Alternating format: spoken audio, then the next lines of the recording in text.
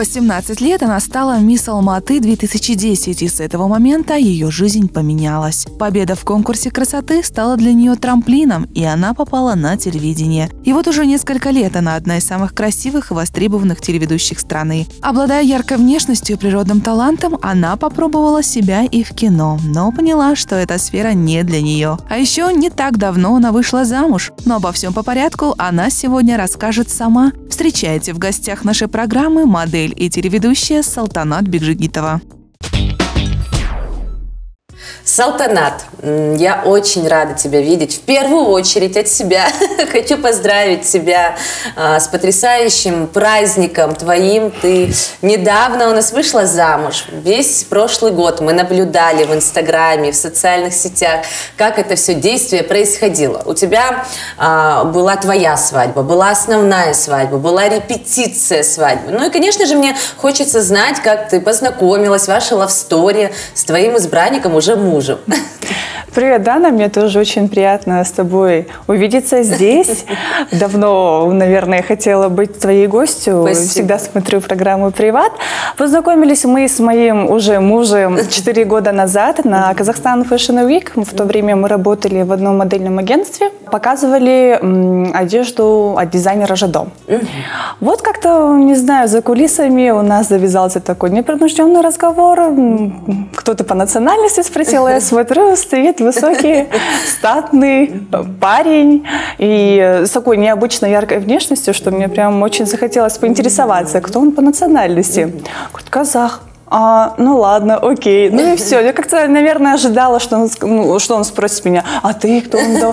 Ну такого не было, и как-то, не знаю, сразу у нас как-то не получилось, да, То есть интерес больше у тебя проявился к нему, нежели чем у него ну, к тебе? Ну, наверное, на, на да, да. А потом он добавил меня ВКонтакте в друзья. То есть он тебя нашел да, в социальных он меня сетях, нашел, ты его заинтересовала, нашел. но ну, да, любовь не случилась сразу. Нет, нет, Это нет. произошло со временем. Я не могу сказать, что это была любовь с первого взгляда. Нет.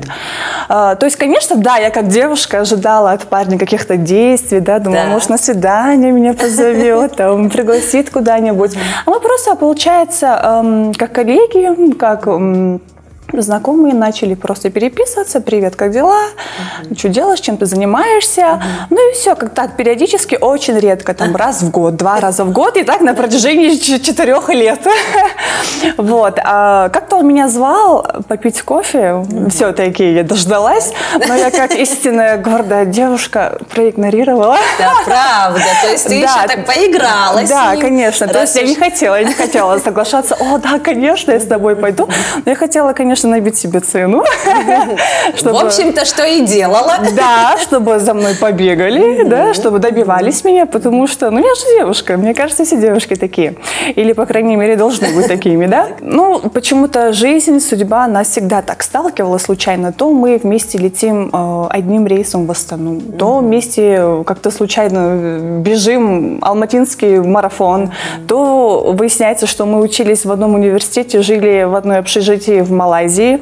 Правда? Да, это, было, это было в один период или в разные периоды? А, но... Это вот в течение четырех лет, в разные периоды. Угу. В прошлом году, зимним вечером, угу. когда я приехала после Петропавловска, да. после Нового года, я встречала э, Новый год со своей любимой подружкой Мирой, которая с вами трудится. Да, да, она у нас работает, помогает, мне редактор наш. Она, а, то есть он э, написал мне ВКонтакте, ну, тоже так же, привет, как дела, чем занимаешься? И и что-то мы как-то начали переписываться, э, сошлись на интересах. И он предложил еще раз выпить с ним кофе, и в этот раз я согласилась. Так. Мы с ним встретились в кофейне, угу. очень так приятно поговорили. Угу. И когда я приехала домой после этой встречи, он написал мне, э, что хочет пойти со мной в кино. Угу. Да, то есть, конечно, я ликовала, потому что мне было приятно Все, ты получила те действия, парня. да, ты получила те действия, которые да. ждала ждала, потому да. что видишь как, все-таки он тебе нравился. Ну, скажем, чисто внешне он мне нравился. И по ходу нашей переписки я поняла, что он не только э, красив внешне, что он еще и очень умный, очень интеллигентный, воспитанный, образованный человек. Это, наверное, меня и зацепило. Ну, конечно, это уже в последующем ты его раскрыла, узнала. У нас одинаковые интересы. То есть мы э, оба любим искусство, путешествовать, я не знаю. У нас одинаковые взгляды на жизнь. А подскажи мне, твой муж, получается, он в, он в модельном бизнесе, да, работает? Нет, он сейчас не работает в модельном бизнесе. То есть э, для нас это было больше как хобби, наверное. То есть это не основной э, заработок наш. Это просто так, just for fun. Ну да, тем более, когда внешность позволяет. Да, конечно. Если внешность красивая, то почему бы не заработать на внешности деньги? Сказала Салта, почему бы не заработать на внешности деньги? Правильно. Конечно, тем более, когда люди красивые. Вы действительно являетесь сейчас уже одной из красивейших пар в Казахстане. Спасибо. И ты это знаешь, и очень много комментариев оставляют в Инстаграме на этот счет. Вы начали встречаться. Вот закрутился такой роман, красивый, с ухаживаниями, да, да такой постепенно. медленно, но верно, постепенно все Но тем не менее, достаточно быстро он тебе сделал предложение, я Ну, хочу через сказать. три месяца, получается, наших, э, как, с нашей первой встречи, через три с половиной месяца он сделал мне предложение. Увидел, встретились, полюбил и понял, что это она. Ну, знаешь, я тебе могу сказать, что также очень-очень редко бывает, когда парень готов уже через три месяца сделать предложение. Ты ожидала от него этот поступок? Или это была полная неожиданность для тебя?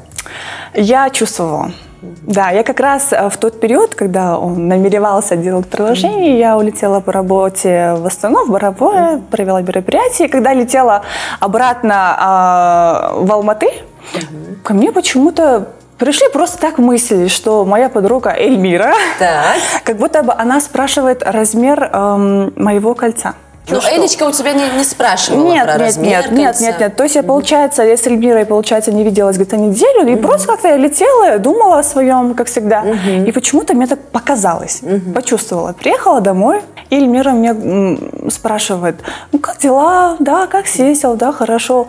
Начала гладить меня за руку. Я говорю, что такое? А какой у тебя размер кольца? Я говорю, Эльмира. Все было, да, все было очень технично. Да, я говорю, Эльмира, ты представляешь, говорю, вот только вот вчера мне вот, э, у меня была такая интуиция, будто бы ты спросишь. Я говорю, Эльмира, тебя Санджик, да, спросил?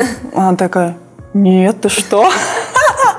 И в итоге выясняется, что на самом деле э, мой уже муж, оказывается, спросил мою подругу, э, что, разузнать размер моего кольца. Представляете, как бывает? Это такая интересная история была, что я ну, на самом деле а, искал кольцо, не знал размер. Действительно, на тот момент ее молодой человек попросил меня а, узнать размер ее кольца. Я постаралась это сделать как-то по-хитрому и технично, но она на самом деле сразу догадалась. А, но мы все равно старались с ним сохранить эту тайну, интригу до конца. Ну, собственно, кольцо подошло, все было идеально. Поэтому для меня это, наверное, не было какой-то неожиданностью. Я предчувствовала, и поэтому была уже готова к этому и ждала. И когда он сделал ей предложение, она действительно была очень счастлива, она ликовала. И это прекрасно, потому что они замечательная пара. А свадьба была твоей мечты. Вот Да. все прошло так, как ты хотела и как да, мечтала. да, да, Мы сделали обряд казахский, мы решили э, учесть все традиции, сделали обряд саргасалу. Но у вас вообще а, весь этот процесс свадебный, он проходил в традициях, причем в таких классических традициях. Да, мы решили не игнорировать все традиции. Все-таки я первая дочка, единственная дочка. У меня есть братишка, но девочка есть девочка. Конечно. Поэт- Поэтому, как бы долгожданная, наверное, э, я дочь, меня 8 лет ждали, поэтому хотели, э, чтобы все было как положено. Да. А, После Саргасалу уже э, в сентябре мы сделали худалык, сделали проводы в городе Шымкент, где очень было много гостей. Потом меня забрали в Алматы, получается. Мы начали вместе жить, и спустя два месяца мы сыграли В Алмате в. Алмате э, свадьбу только для самых близких нам людей. У нас а, были съемки в начале того года одного клипа, где вы играли жениха и невесту. Да, Это, да, да. На тот период он уже сделал тебе да, на предложение? тот, на тот момент он мне сделал предложение. Я поставила такое требование, что если я буду сниматься, то только со своим женихом. А жених у тебя согласился?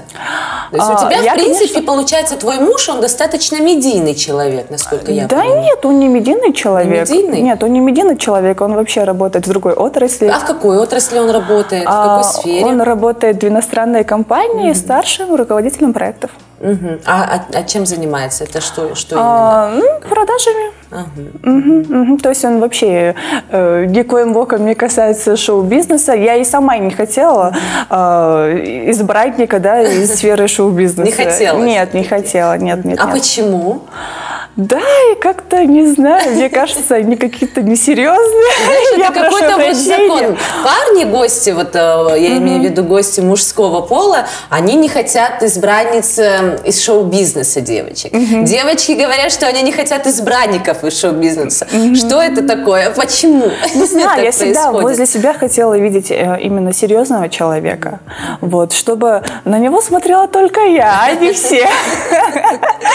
Вот, чтобы он был только только моим человеком. Салтанат, я помню то время, когда ты только начинала свою карьеру телеведущей, ты приходила к нам на кастинг, на хитивину, на тот период мы работали. Начитки. Начитки, да. И на тот момент ты уже была такой яркой девушкой, и тебя заметили сразу, и, в общем-то, мне кажется, у тебя не было таких долгих кастингов для того, чтобы а, идти к своей цели.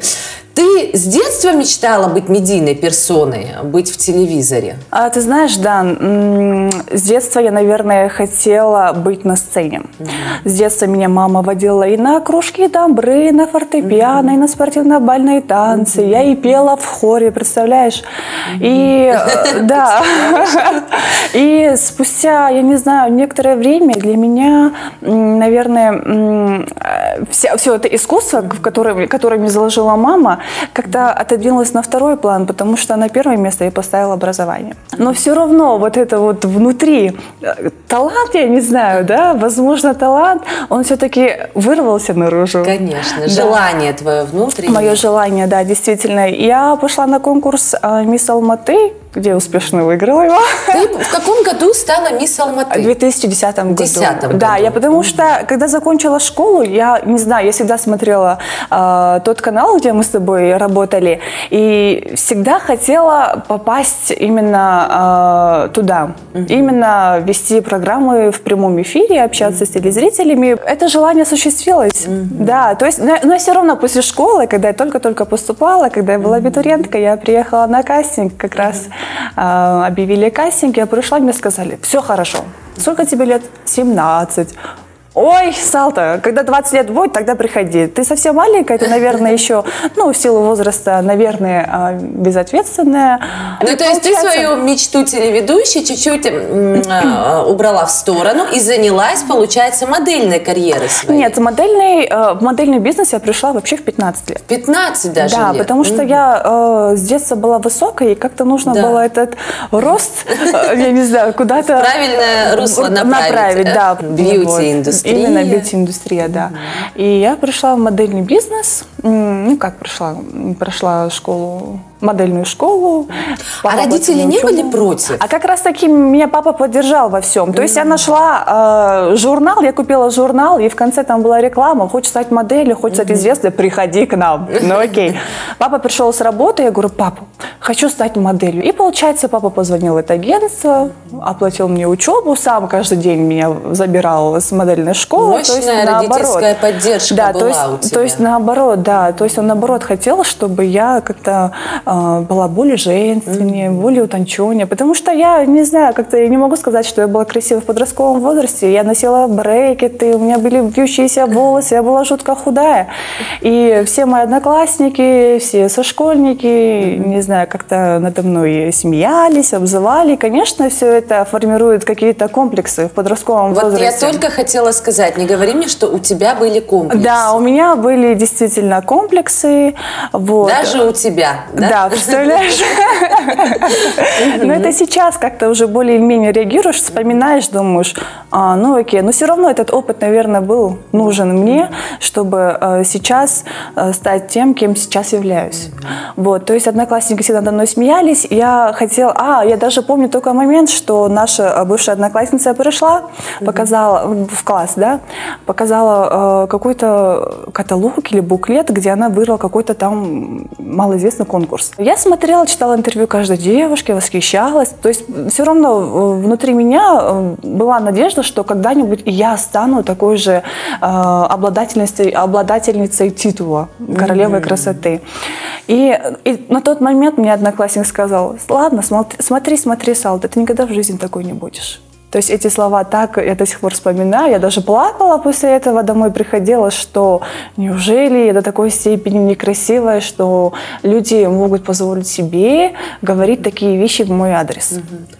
То есть Для дома, тебя да. это был такой толчок, да, наверное? Да, да, да, это была такая мощнейшая мотивация. Я очень сильно замкнула в себе. У меня, я не знаю, были очень большие комплексы по поводу своей внешности. И, не знаю, а я попала в общество других девушек, где они мне сказали, Салтанат, что? Ты такая красотка, давай иди в модельный, да, иди в модельный бизнес. То есть я начала за собой ухаживать, за волосами, за, конечно, в подростковом возрасте да. у всех, наверное, проблемная кожа, я начала за собой ухаживать. Ты была девочкой-отличницей, да? Я была девочкой-отличницей, за что меня многие ненавидели, потому что я не давала никому списывать, потому что если я сделала, значит, это мои мозги, это, это мой ум. То есть я до трех часов не сплю, я там э, Э, делаю домашнее задание, а почему я должна свой труд отдавать кого-то списать, У тебя чтобы школьный период такой был достаточно сложный, стрессовый, да, сложный. Да, да. Одноклассники тебя не воспринимали и, может быть, даже где-то подшучивали, ну и прикалывались, раз mm-hmm. они не могли себе позволить себе такие вещи говорить. Да. А? Но зато сейчас, когда они видят меня так Доказала случайно, всем. они мне пишут иногда ВКонтакте, ты так изменилась, Салта. После титула Мисс Алматы как раз таки для меня открылись новые горизонты. Вот. Вот, э, я почувствовала себя увереннее, mm-hmm. я поверила, что да, я действительно не страшная, mm-hmm. что если меня признал весь город красивой девушкой, значит я красивая. На хитиви тоже тебе не сразу все легко далось. Ты mm-hmm. упорством и трудом доказала, что ты можешь быть одной из топовых телеведущих Казахстана. После того, как я стала мисс Алматы, mm-hmm. меня позвали вновь на тот же кастинг, и тогда сказали, хорошо, Возраст не имеет значения. Да, да, то есть уже я была, я представляла из себя личность мисс Алматы, и, наверное, это как-то и заинтересовало телеканал. Да, титул уже был. Я, по-моему, три месяца, да, три месяца я ходила на трактовки, на читки. 1 а, декабря я вышла в эфир. Mm-hmm. Это был прямой эфир. И только, а, получается, меня взяли на три месяца на стажировку. Mm-hmm. Я работала бесплатно. И только через три месяца меня взяли в штат и начали платить зарплату. Я помню тот период, тогда как раз э, Адиль Ян тебя да. принимал на работу. Э, в общем-то, он и был твоим наставником да. и продолжает сейчас быть твоим наставником. Да. Когда Салтанат ко мне привели в кабинет и говорят, вот посмотрите, она а, мисс Алматы, и может быть она станет ведущей, как вы думаете? На самом деле в ее больших красивых глазах было столько искренности, они изучали это такой добротой и такой наивностью, и при этом читалось, что это достаточно умный человек, которая сможет все.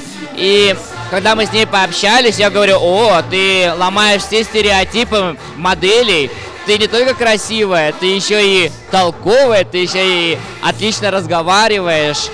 Говорит, справишься? Она говорит, да, я такой человек, если я ставлю себе цель, то я этого добьюсь. И доказала, и действительно уже на протяжении многих лет она украшает эфир многих телеканалов.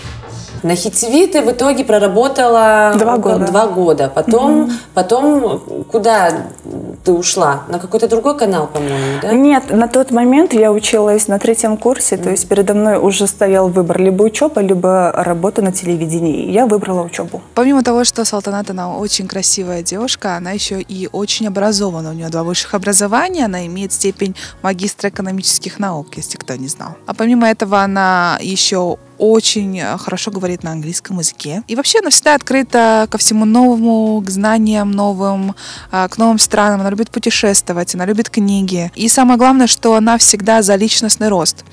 Поэтому она всегда старается над собой работать. В первую очередь, как над человеком, над своими личностными качествами. Она очень эрудирована, образована, интеллектуальна, у нее отличное чувство юмора. Я решила закончить, получить диплом, а потом, если это судьба, вернуться вновь.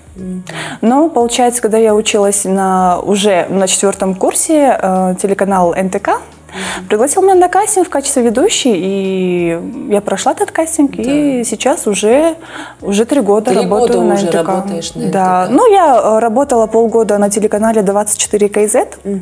а также на канале Астана. Сейчас она уже, а, конечно же, такая акула эфира. А от той наивной девочки остался только ум и красота. Параллельно ты снимаешься в сериалах, в фильмах? Да, да, я... Ну, в клипах было... точно ты снимаешься, в клипах ну, я сейчас тебя вижу уже, Да, сейчас, сейчас уже реже. Mm-hmm. Ну, когда училась в университете, когда была студенткой, когда была не замужем. Предложений было больше, да, по, по, да, по работе, да, по Да, да, Нет, ну в то время для меня это было интересно. Я была готова работать бесплатно. Так, а сейчас что-то изменилось? А нет, сейчас уже другие приоритеты в жизни. Чем сниматься там где-то в эпизодических роликах, я лучше дома приготовлю ужин любимому. А опыт?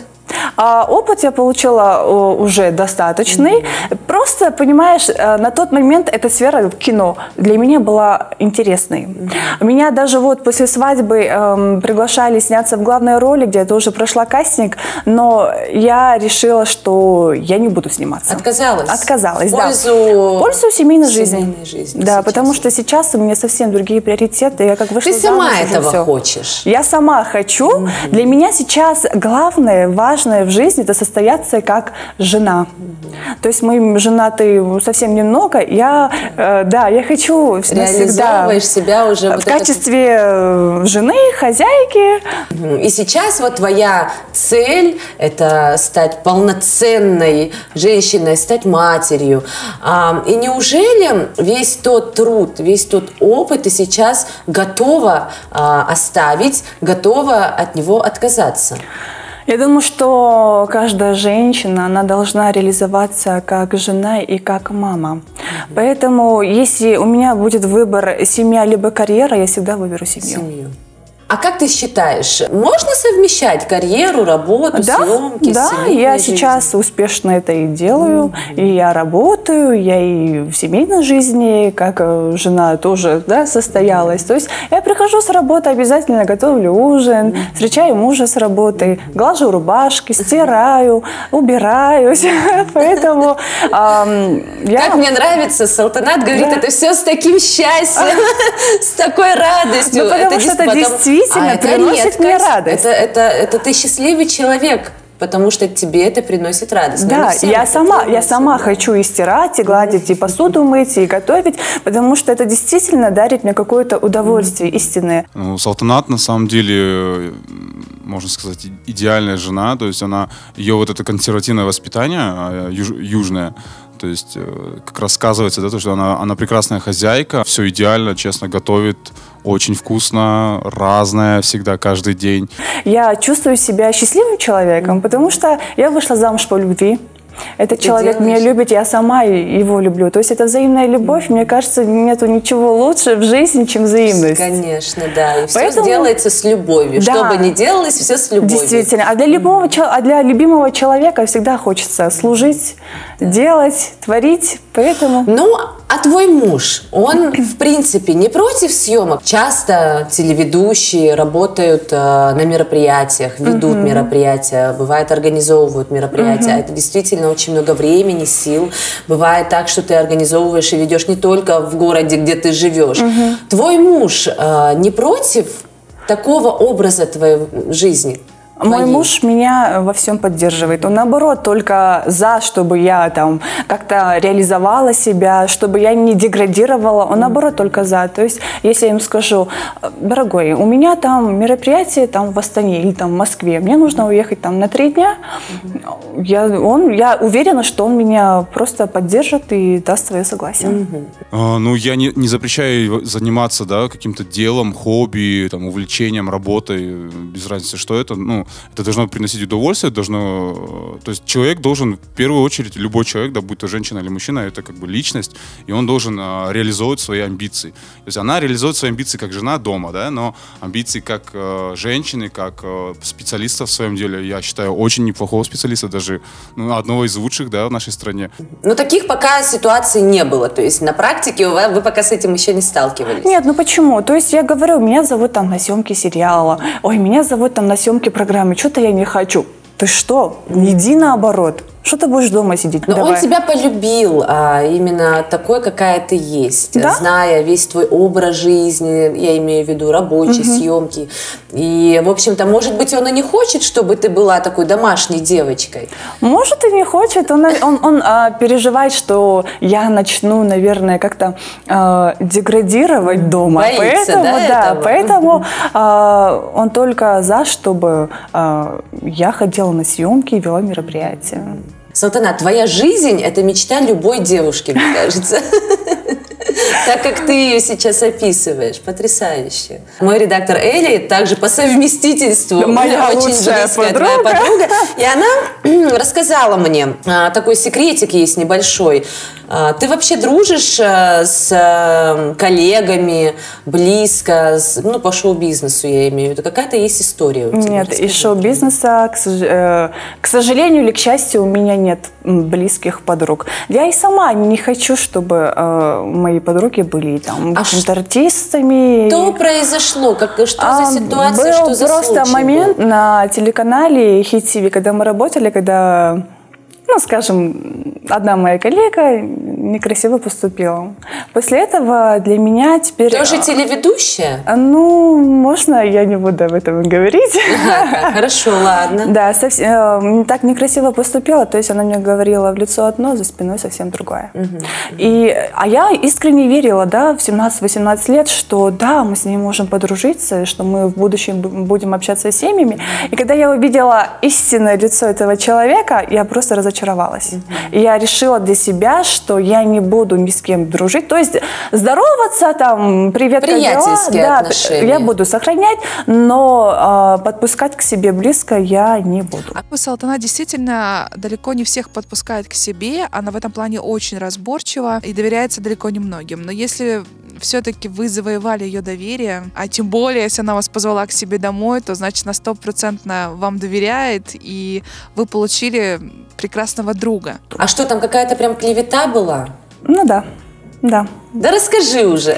Ну просто я могу сказать, что он просто э, очень так некрасиво поступил, получается. А, ну серьезно, мы созванивались периодически, там, если нас что-то не устраивало в телеканале, да, в руководстве на тот момент уже отделе ушел, а, мы всегда обсуждали, мы все возмущались, давай скажем так, давай так. А на деле все, получается, обернулось против меня. Так, это каким-то образом повлияло на твою работу в, ну, на, на этом канале? Наверное, да. Mm-hmm. Да. Mm-hmm. И э, это, это, это как раз э, тот период, когда ты только пришла в шоу-бизнес, да? Ну, Сразу это так вот, травмировали это, тебя. Это получается перед тем, э, как я выбрала учебу. Угу. Да. То есть, ну, То есть уже эта ситуация даже повлияла на выбор да, твой, работать да, дальше да. в этой сфере или нет? Да, да, да, да, угу. да. Но я думаю, что я сделала правильный выбор, выбрав учебу. Угу. Потому что жизнь такие подарки преподносит. Потому угу. что если эта сфера э, действительно твоя, то оно, оно к тебе придет. Угу. А если нет, то спасибо за опыт, до свидания. Но эта сфера в итоге оказалась твоей. Да. И в то же время ты получила опыт, спасибо большое. Два в одном, да, у тебя Да, да, да. То есть я уже как-то не общаюсь с этой девушкой больше. То есть только так. Привет, привет. Угу. Угу. То есть я не поздравляю ее ни с какими праздниками. Она меня периодически поздравляет, и я даже не пишу ей спасибо. Но просто я не знаю, я не, я не умею обижаться на людей. Я не умею. А Но ты если меня разобралась в этой обидеть, ситуации? то я вообще быть- не могу простить. Может быть, и ты неправильно расценила на тот момент эту ситуацию? Ты знаешь, Дана, в 17-18 лет я была чересчур, наверное, доверчивой. Да. И, наверное, из-за того, что э, я была чересчур такой наивной, я и получила, скажем, нож в спину. Поэтому сейчас я стараюсь, э, прежде чем вот так вот близко общаться, узнать о человеке побольше, э, испытать его разными стрессовыми ситуациями, да, скажу, как Эльвиру. Действительно, в дружбе она очень отзывчива, она щедра, она добра, и она всегда придет на помощь. С ходом жизни то, как протекала наша дружба за эти годы, разные были ситуации. Где-то нужна была мне ее помощь, ее совет, ее поддержка. В свое время она мне очень-очень сильно помогла, и я ей очень благодарна. Этим и цена нашей дружбы, что мы всегда готовы прийти друг другу на помощь. А ты считаешь, что а, в шоу-бизнесе нет искренней дружбы? Я не могу говорить за всех. Может и есть, но в моей жизни нету. Салтанат, у нас в программе есть также рубрика «Блиц-опрос», где тебе также нужно будет ответить на несколько интересных вопросов. Хорошо? Назовите свою самую сильную сторону. А, Я вообще считаю, что у меня сильный характер. Если я ставлю цель, то я всегда достигаю. И у меня железная воля. Что для вас самое страшное? Самое страшное это, наверное, потерять близких для меня людей, а также разочарование в людях. Вас часто грызет совесть? А, нет, меня не грызет совесть, потому что я стараюсь все делать правильно. Какие качества в людях вас раздражают? Я не люблю занудных людей, а также людей, которые на самом деле знают мало, но все время умничают. Ваше жизненное кредо. Мое жизненное кредо – это мечтать, и чтобы все эти мечты сбывались, ставить цели, достигать их и быть только на позитиве. Салтанат, очень мне понравилась беседа. Хочу еще раз перед тобой извиниться, что не попала на твою свадьбу, очень хотела.